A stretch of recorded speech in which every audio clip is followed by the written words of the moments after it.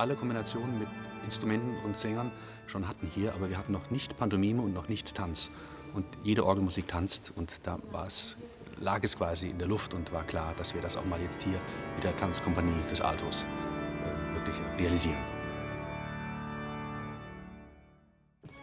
Also die besondere Herausforderung ist wirklich, dass wir äh, echt zusammenarbeiten, dass nicht tanzen, ich spiele irgendwie dazu oder ich spiele, wie ich auch sonst ähm, spiele und schaue nicht, was rechts und links ist, sondern ich muss sehr, sehr auf die Tänze achten und sie sehr auf die Musik. Also es ist echt, echt ganz ineinander verzahnt in diesem Raum und für alle eine große Herausforderung und auch ein echtes Novum. Aber Sie freuen sich auf jeden Fall. Unglaublich. Ja, ja, auf jeden Fall.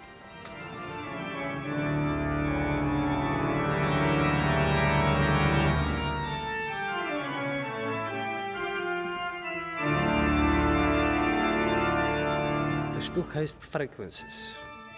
Also es geht um äh, Kommunikation.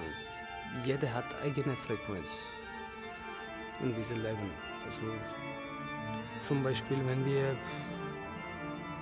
nicht auf dieselbe Frequenz sind, dann verstehen wir uns überhaupt nicht. Also durch die Choreografie und durch meine Erfahrung zeige ich die Frequenzen, die ich bis jetzt erlebt habe.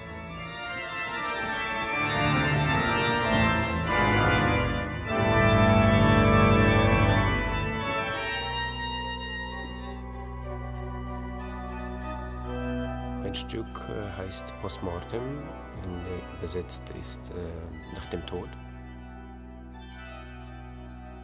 Es geht um die Seelen, egal, egal in welcher ähm, Situation der Mensch gestorben ist, was er als erster Moment nach dem Tod empfindet.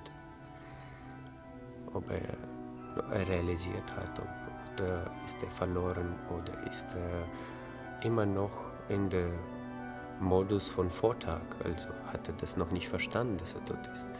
Wenn man diese Orgel sieht, das bekommt man schon Gänsehaut.